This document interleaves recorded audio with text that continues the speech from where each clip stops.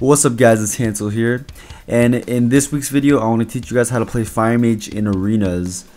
The highest I was able to achieve was about 2470 so far this expansion, so I really think this video will help you out if you're interested in fire play. Since I started queuing more, I discovered a lot more strategies and tactics on how to survive longer, and also to set up more clean with your partners in order to score kills. If you haven't seen my basic Fire Mage video, where I teach you the build and basic burst rotations of a Fire Mage, then I highly urge you to check it out. You can click here, or if you don't have annotations enabled, the link will be in the description down below.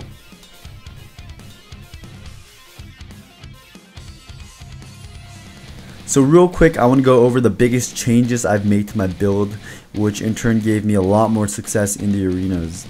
I shot up from 2100 all the way up to 2400 just by tweaking little things and also changing my playstyle to adapt to my partners. So one of the biggest things is instead of taking Ice Barrier in my talents, I've actually taken up Flameglow. And what Flameglow is, is it's a passive absorption. So anytime you get attacked, this thing absorbs all the way up to a little bit more than 1k damage. And if you think about it, in hindsight, 1k damage per attack doesn't seem like much. But also, if you think about it on a more deeper level, you're getting hit constantly over and over by like melee cleaves, and also the debuffs on you are also ticking, which also get absorbed. So you're constantly absorbing all this damage, which adds up so much. Ice Barrier absorbs 23k every 25 seconds when you apply it to yourself, but this buff can also be purged, whereas Flameglow is just a part of you. Also, you don't have to keep reapplying it and wasting globals uh, because Flameglow is a passive. And so I've been really loving teaming up Flameglow with Glyph's Spell Steal. And what Glyph's Spell Steal does is every time you successfully steal a buff, you heal for 4%. Which once again doesn't seem like much, but if you're fighting a team with like a Resto Druid or a Disc Priest, then popping Amplify Magic while spam spell stealing will not only heal you every second from the actual spell steal glyph, but also you're constantly spell stealing all their buffs like hots and absorptions, which will really save you from using your bigger defensive cooldowns like Ice Block or Cold Snap. There's been plenty of times where I've been unkillable just by this tactic alone. This here is more of a short-term survivability tactic, whereas Flameglow is more of a long-term survivability strategy which is why together they make such a good couple.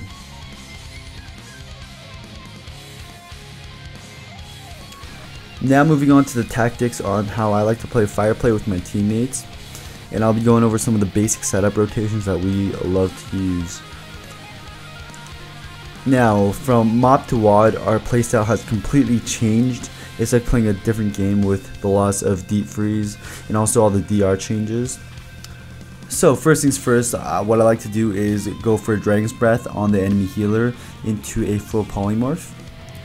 Keep in mind, Blazing Speed will really help get the job done to get a range to the healer if you're not close enough. Obviously, when you're going for the Dragon's Breath poly on the enemy healer, you also have enemy DPS that are locking you down and interrupting you, which makes it very challenging to land a CC with the loss of Pom Poly. So what we have to do is my Shadow Priest has to double fear the DPS, or if he can't double fear, he'll either fear one and disarm, aka horrify the other, or fear one and silence the other if it's a caster. This will guarantee a 100% success rate on landing CC, which will then either force trinkets from the enemy team or force just damage pressure. Out of the Dragon's Breath Poly, we like to change it up with another polymorph, a silence, a bash, or a clone to keep that pressure constantly rolling to force other defensive cooldowns. At the same time, when we get that CC on the healer, we want to keep the enemy DPS main target locked down so I can drop a meteor on top of them with either the horrified or a stun like a bash or a HoJ. Then set up Pyroblast, double Blast Wave, Combust setups to really get that damage out.